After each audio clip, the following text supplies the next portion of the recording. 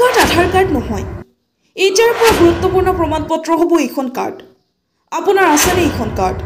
বিশেষকৈ স্কুলীয়া ছাত্ৰ ছাত্ৰীৰ বাবে এইখন কাৰ্ড হ'ব অতি গুৰুত্বপূৰ্ণ। যদি নাই তেন্তে আজিয়েই বনাওক। কিয়নো এইখন কাৰ্ড অবিহনে এতিয়াৰ পৰা কোনো কামেই কৰিব নোৱাৰিব। কি এই গুৰুত্বপূৰ্ণ কাৰ্ড? জানিবলৈ চাওক আমাৰ এই প্ৰতিবেদন। এইবাৰ আহি আছে আপাৰ স্কুলীয়া শিক্ষাৰ্থীৰ নামত হ'ব ইছ্যু কি হ'ব? এই নতুন কাৰ্ডত। এতিয়া কেন্দ্ৰই আধাৰৰ দৰে আপাৰ কাৰ্ড প্ৰদানৰ নিৰ্দেশ দিছে। বিদ্যালয় ছাত্ৰ ছাত্ৰীৰ বাবে এই নিৰ্দিষ্ট কাৰ্ড প্ৰদান কৰা হ'ব। ৰাষ্ট্ৰীয় শিক্ষানীতিৰ অধীনত এই পদক্ষেপ বাধ্যতামূলক। বিদ্যালয় ছাত্ৰ ছাত্ৰীৰ বাবে এক দেশ এক আই ডি প্ৰস্তুত কৰিবলৈ এই কাৰ্ডখন দিয়া হ'ব। ইয়াত ছাত্ৰ ছাত্ৰীৰ শৈক্ষিক জীৱনৰ গ্ৰাফ নথিভুক্ত কৰা হ'ব। ৰাষ্ট্ৰীয় শিক্ষানীতি আৰু এক দেশ এক আই ডিৰ অধীনত সকলো বিদ্যালয় ছাত্ৰ ছাত্ৰীক automated permanent academic account registry বা আপাৰ কাৰ্ড প্ৰদান কৰা হ'ব। এই সিদ্ধান্ত লৈছে কেন্দ্ৰীয় শিক্ষা মন্ত্ৰালয়। এই কাৰ্ড দেশৰ সকলো চৰকাৰী আৰু বেচৰকাৰী বিদ্যালয়ৰ ছাত্ৰ ছাত্ৰীক দিয়া হ'ব। ইয়াৰ বাবে ইতিমধ্যে বিভিন্ন ৰাজ্যৰ বিদ্যালয়লৈ গাইডলাইন প্ৰেৰণ কৰা হৈছে। ছাত্ৰ ছাত্ৰীসকলক কাৰ্ড প্ৰদানৰ বাবে অভিভাৱকৰ পৰা সন্মতি ল'বলৈ কোৱা হৈছে।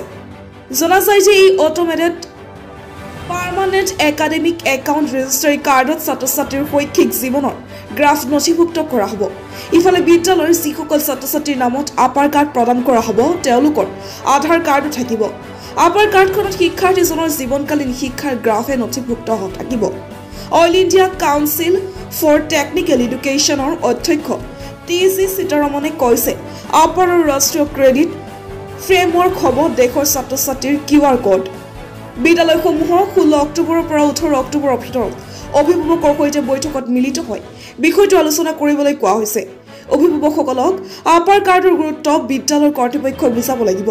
ছাত্ৰ ছাত্ৰীৰ আধাৰ কাৰ্ডৰ তথ্যৰ পৰা আপডেট কৰা হ'ব আপাৰ কাৰ্ডখন। বিদ্যালয়সমূহক ছাত্ৰ ছাত্ৰীৰ তেজৰ গ্ৰুপ ওজন আৰু উচ্চতাৰ তথ্যও ৰাখিবলৈ কোৱা হৈছে। সেই তথ্য U D I S C পৰ্টেলত আপলোড কৰিবলৈ কোৱা হৈছে। ইপিনে এই নতুন কাৰ্ডৰ বিষয়টো শিক্ষকৰ বাবে মূৰৰ কামোৰণিত পৰিণত হৈছে। ইয়াৰ পূৰ্বে আধাৰ পৰ্টেলত ছাত্ৰ ছাত্ৰীৰ তথ্য আপডেট কৰাৰ সময়ত তেওঁলোক অসুবিধাজনক পৰিস্থিতিৰ সন্মুখীন হৈছিল আৰু এতিয়া তেওঁলোকক এই আপাৰ কাৰ্ডখনৰ কাম কৰিবলৈ কোৱা হৈছে। এনে পৰিস্থিতিত বিভিন্ন বিদ্যালয় শিক্ষকসকলে অভিযোগ কৰে যে তেওঁলোকে পঢ়া শুনাৰ চিন্তা কৰাৰ সময়ে নোপোৱা হৈছে। আনহাতে চৰকাৰে এই আপাৰ কাৰ্ড তথ্য গোপনীয় হৈ থকাটো নিশ্চিত কৰিছে। এই তথ্য প্ৰয়োজন সাপেক্ষেহে চৰকাৰী সংস্থাসমূহক দিয়া হ'ব। ইফালে এই কাৰ্ড ছাত্ৰ ছাত্ৰীৰ অভিভাৱকৰ সন্মতি অবিহনে বনাব নোৱাৰিব। আৰু যদি কোনো অভিভাৱকে সন্মতি দিয়ে তেন্তে পিছত সেই সন্মতি প্ৰত্যাহাৰ কৰিবও পাৰে।